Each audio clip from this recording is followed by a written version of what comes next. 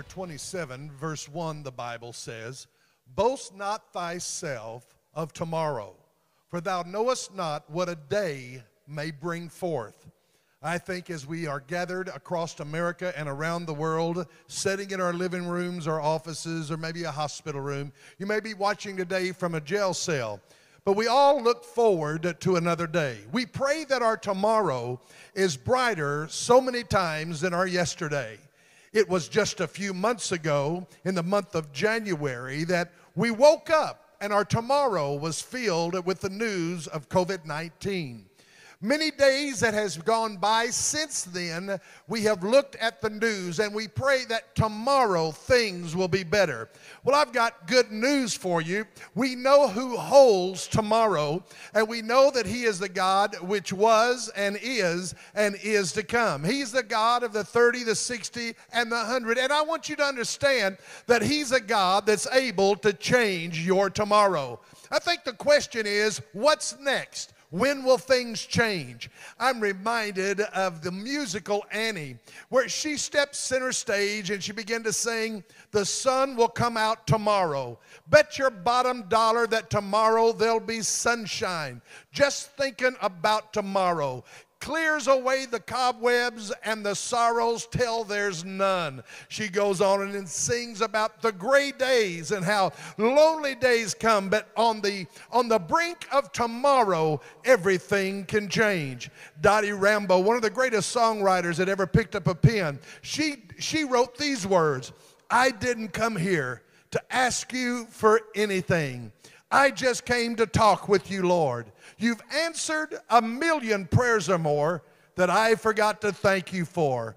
I just came to talk to you, Lord. The chorus goes on and says, Maybe tomorrow there'll be trouble and sorrow, and a thousand teardrops may fall. But until I face tomorrow's task, I have no special favors to ask. I just came to talk with you, Lord. I want to declare to every one of you that's part of our Facebook family, part of our church family, that your tomorrow will be bright if you'll spend your today on your knees seeking the face of God. The Bible is very clear that God responds to our prayers. It is my plea and it is God's word that He will respond and perform His word in our life. The tragedy is so many people get caught up in their today that they forget that God is able to give you a tomorrow. It is not guaranteed, it is not promised, but can I tell you today, God is not going to take you out until your assignment is finished. And so we must believe that regardless of what we're faced with, God is still in control. Somebody today, you may be in the middle of a situation, it, the virus might have touched your family. You may be wondering what you're going to do. Your history of yesterday is nothing like what you're believing God for on your tomorrow, but I must let you know that there is a God that is able to take care of what you can't see.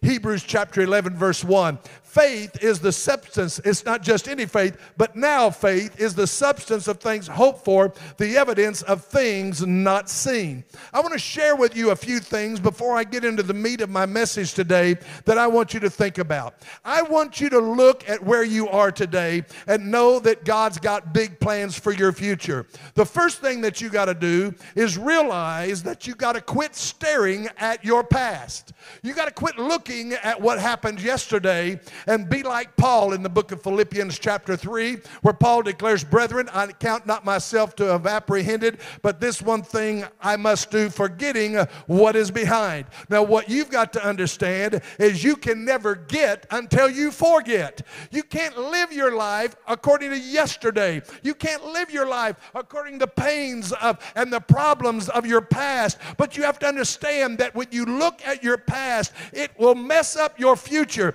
Refuse to be Lot's wife, Refuse to be a monument to her past, Refuse to live your life looking back. Uh, you know, Paul said this this one thing I do, I must forget. I got to forget about what people said about me. I got to forget, forget about what they've done to me. I have to forget about where I missed it and the things I would have done and my failures. I got to forget all of that.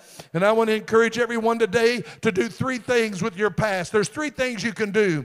One of them is you can nurse it. You can look at your past and you can keep bringing it up and bringing it up and you can nurse your past and what you nurse will grow. Or you can rehearse it, talk about it all the time from the rising of the sun to the going down of the same. I'm here to tell you sometimes we need to turn off uh, off the off the bad news and get in the good news. Sometimes you need to turn off all of the ABC, CBN. Uh, you got to you got to turn it all off and you got to put your faith and your confidence in the Word of God and know that there is some good news. The good news is He's still a healer. The good news is He's still a miracle worker. The good news is there's a, not a virus that He is still not the healer of. And when we understand that, it will position us for a joy that comes from within inside of us and a joy that will give us the strength that we need to make it. So, number one, don't keep nursing it. Number two, don't keep rehearsing it. Number three, you need to do this. You got to disperse it.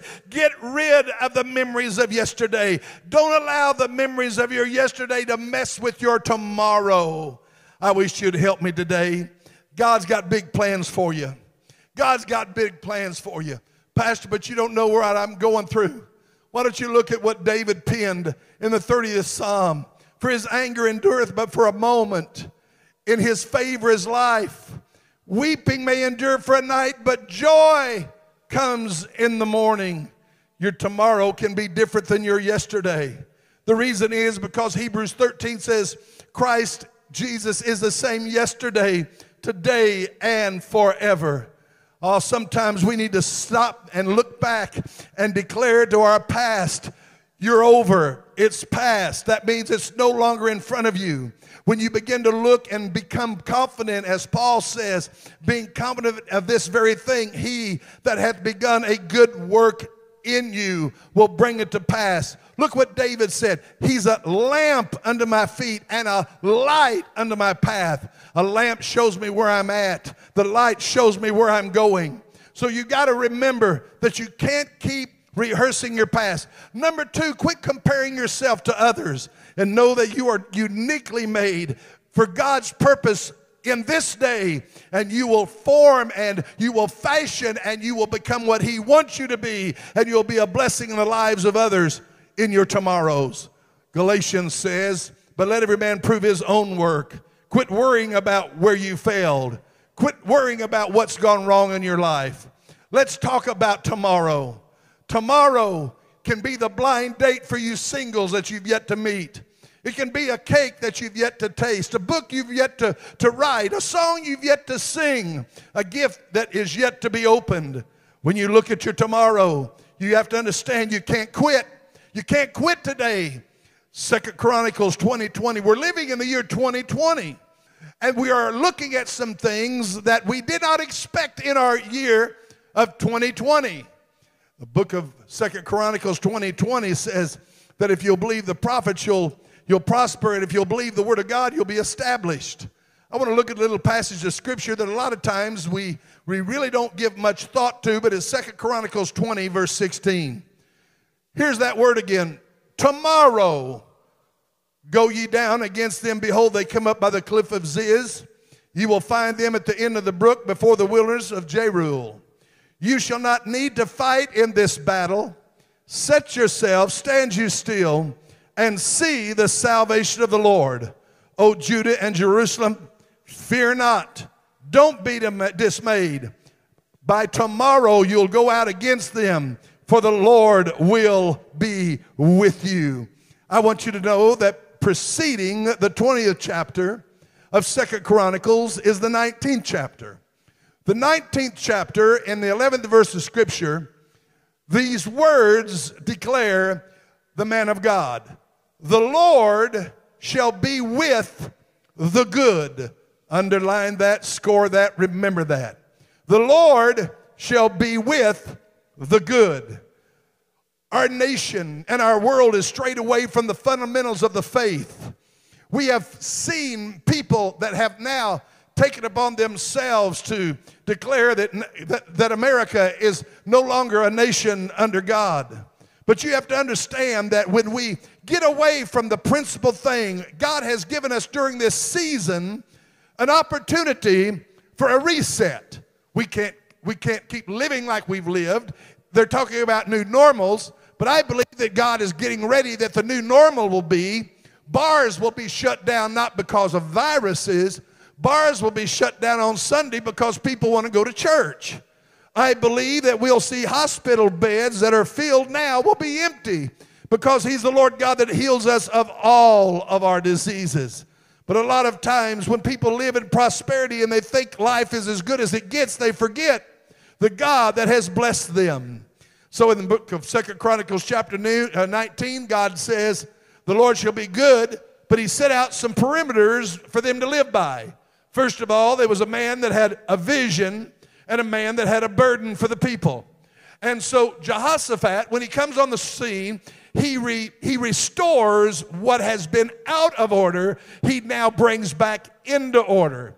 And that is, that is all in, in chapter 19.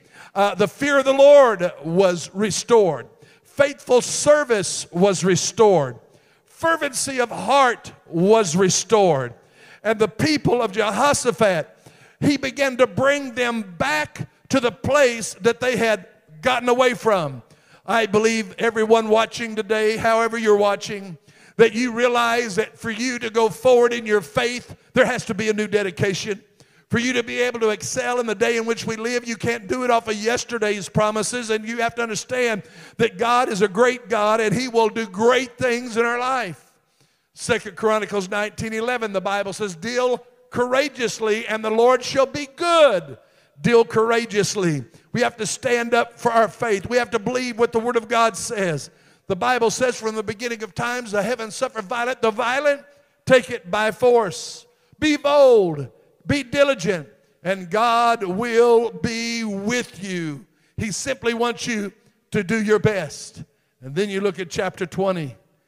Then it came to pass. The armies were hired against him. There was the Amorites, the Hittites, the Jebusites, they come to battle. They're in a place where Jehoshaphat, there's no way that he can make it. The nation has stability, prosperity, their faith is restored in God. They've been reestablished, and now here comes an enemy to try to stop them. They did what was right. Have you ever done what was right and you ended up in a fight? Have you ever done what was right and everything that could go wrong did go wrong? Have you ever stood strong in your faith only to find out that what you were standing on and the world in which you were living in looked nothing alike?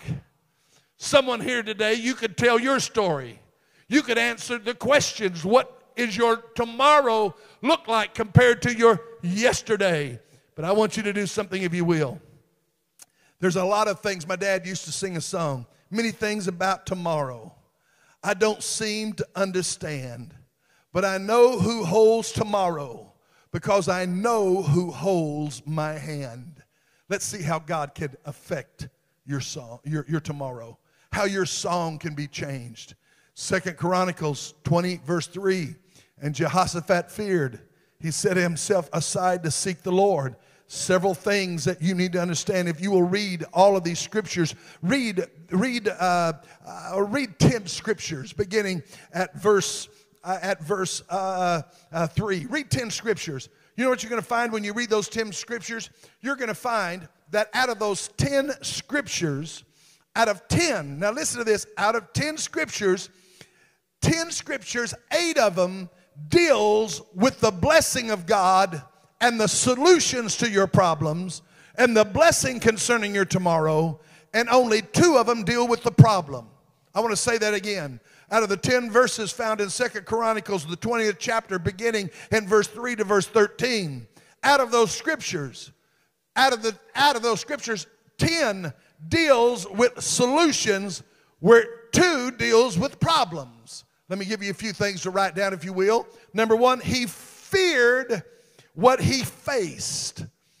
We understand the power of fear. For many, it's crippling, especially during the time in which we live. We're, li- we're seeing people that, that are afraid.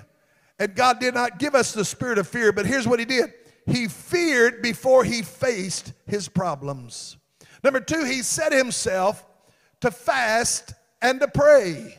He set Himself, which to set yourself means that you are fastened. You're unmovable. You're like a, a nail in a sure place, like a rock that can't be moved.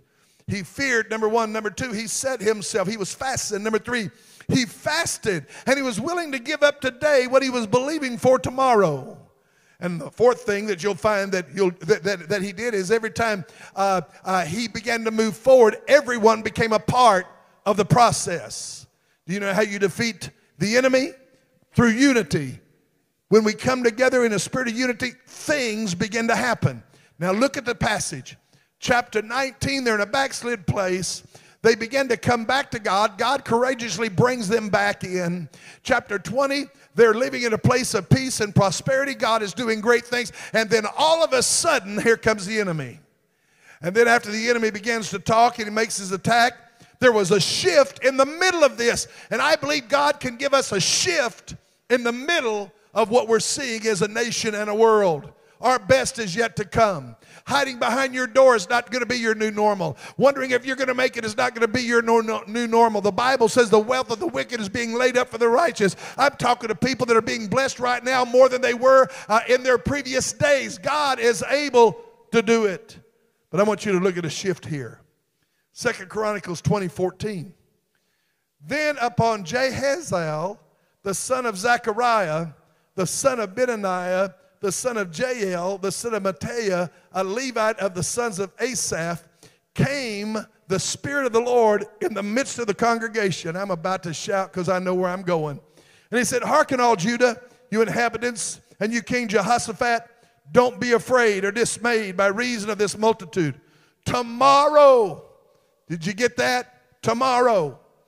Tomorrow things are going to change. Tomorrow, God's going to give you a plan that your enemy will be defeated. Tomorrow, blessings are going to come. Who is this guy, Jehaziel? What is his pedigree? What is, what, what, what, is, what is it that gave him the power to speak? If you will notice, the Bible says that Jehaziel was in the midst of the congregation. He wasn't on the stage. He wasn't in a, in a seat of uh, pomp and circumstance. He wasn't in a high place. He was in the middle of the people. I like what Bishop Jakes said the other day. He says, God has got the church in a place where there are no mega pastors. We're all pastoring little churches.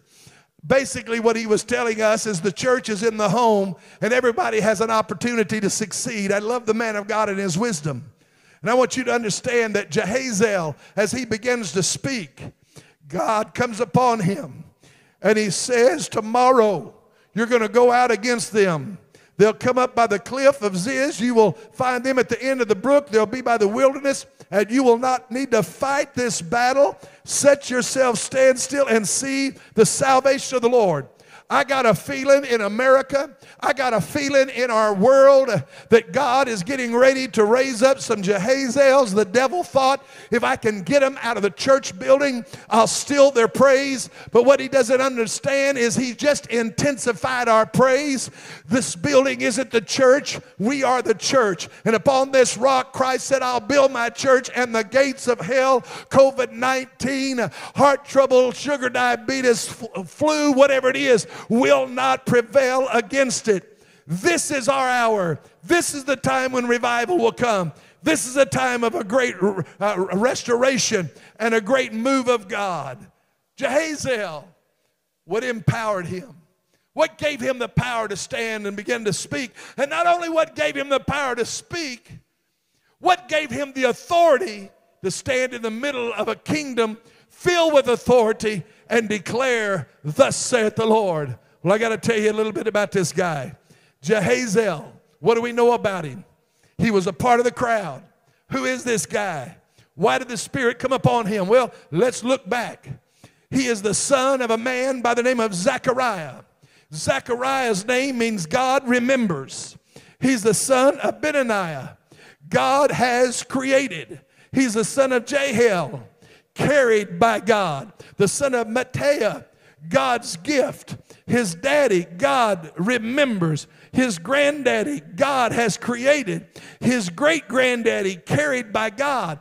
His great great great granddaddy, God's gift. Let me say this again. His, don't miss this, he's the son of Zechariah, God remembers. The son of Benani, God has created. The son of Jehiel, carried by God. The son of Mattea, God's gift. Wow, listen to what that means. He's the son of God's gift. He is daddy is God remembers. His granddaddy is God created. His great granddaddy carried by God, and his great great granddaddy is God's gift. You have to understand, he was lost in the crowd, but there was something that had been poured into him from one generation to another. Something that had been poured into him by his father, by his grandfather, by his great grandfather and no doubt words of wisdom that were come down from his great great grandfather.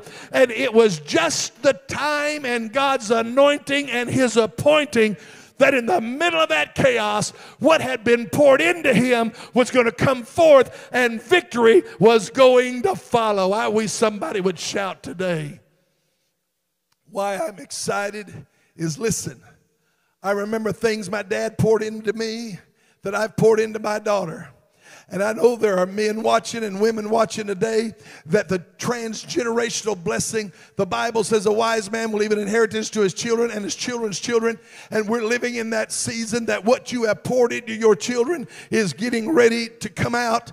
It's getting ready to manifest. The blessing of God is going to flow. And you have to understand this you will face some problems in your life, but there is peace that is available. You'll look at things that can take your breath breath away, but you got to learn to refocus. And there are times that you will look and say, I don't feel like this is my place. There are hours when God will reposition you. But at the end of the day, blessing is going to come. And that valley where they fought was the valley of Barak, which means the place of blessing. So, Pastor, what are you telling me?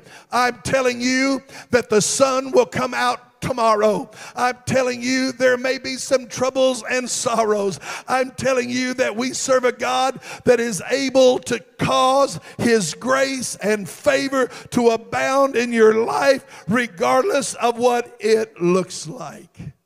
Joshua chapter 3, verse 5, and I'll close. And Joshua said to the people, Sanctify yourselves, for tomorrow Tomorrow, tomorrow, the Lord will do wonders among you. I want you today to think about this. As we have gathered around a television, a computer, a smartphone to hear the Word of God, that Word of God is not to be in vain. But that word wants to ignite, cause a shift in your life. I'm reminded in the book of 1 Samuel, the 11th chapter, there was a man by the name of Jabesh Gilead that was faced with an enemy. The enemy wanted to take out their eye as a reproach. And this man begins to pray by the name of Jabesh Gilead, and he goes to the house of Saul. And he asks for help because he's in a bad place. We got people in our world that's in a bad place. Some of them are in hospital rooms, some are in isolation, some of them trying to figure out how they're going to make ends meet with their family. They're in a bad place. And they're in the middle of a battle. But I want you to notice that in the book of 1 Samuel, the 11th chapter, the Bible says this, verse 9. And he said to the messengers that came, Thus shall ye say unto the men of Jabesh Gilead, Tomorrow, by the time the sun be hot, you will have help. And the messengers came and showed themselves to the men of Jabesh, and they were glad. Tomorrow, by the time the sun be hot, you'll have help. Somebody said, Pastor, where's my help? Maybe you hadn't got hot enough. He knows what you can take. And then He knows also that with every temptation, there's a way out. And Jesus Christ isn't a way, He is the way. I'm going to ask you to do something today. Everyone watching on Facebook, if you're watching today and you don't know Jesus Christ as your Lord and Savior, will you take just a moment to make the wisest decision you can ever make on this side of earth? It's the wisest decision. Doesn't cost you anything except surrendering your heart back to the God that created you, gave his son to die for you, that you can have life and have it more abundantly. I want you to pray a simple sinner's prayer with me. And if you pray this prayer with me, would you, would you simply respond on this Facebook and say, I accepted Christ today? And maybe you're watching for the first time. We'd love to know where you're from watching from. We'd love to have you become a part of our family, extended family through Facebook. We're going to be praying for you. We're going to be believing God for you. So I want to pray right now. If you don't know Jesus Christ, we're praying first for salvation, then we're praying for healing, and we want you to be in agreement with us. We're going to believe God to heal your finances, heal your marriage, heal your children. Let's pray. Fathers, we come to you today. We want to thank you that you are a God that is a waymaker. And like the children of Israel, they went to bed one night, slaves in bondage, and the next day they woke up free and wealthy. You're able to talk, cause our tomorrows to change. For Moses and the children of Israel, facing a Red Sea while they slept. By the time their tomorrow got there, you would roll their waters back. They walked across on dry ground. Like Jabesh Gilead, somebody's in a battle and it's hot. Send them help. And Lord, help comes whenever we accept you as our Lord and Savior. Your word says that if we'll call, you'll in no wise cast us out. So we call today. Pray this prayer with me. Say, Jesus, I'm a sinner in need of a Savior. And you said if I would come, you would in no wise cast me out. So I come. I come bearing my sins. I come with all of my faults and my failures, but I don't leave with them. I lay them at the foot of the cross. I believe that you are the Son of God, that you died and rose again for, for me to have life and it more abundantly and eternal life. I accept you as my Lord and Savior. And from this day forward, I know that you hold my days in your hand and I will serve you from this day forward. Lord, for those who have loved ones that are sick with this virus, we curse the cause of it. We declare right now that the blood of Jesus Christ and the power of the shed blood will eradicate every bit of COVID 19. Healing is the children's bread. This thing has an expiration date, and we thank you like tomorrow. You can wipe it out. Bring healing to those that are sick, prosperity to those that are in need. We give you the glory and the praise. Hey, we love you so much. Don't forget to join us tonight uh, we got all four of the pastors going to be on. Great topics. You'll be blessed to the Lord. Nine o'clock every night at nine o'clock. Uh, then every morning, 7 a.m. You don't want to miss it. You'll be blessed to the Lord. We love you. God bless you. And let's just worship the Lord together with Pastor Kelly. I'm not going back, moving ahead. Here to declare to you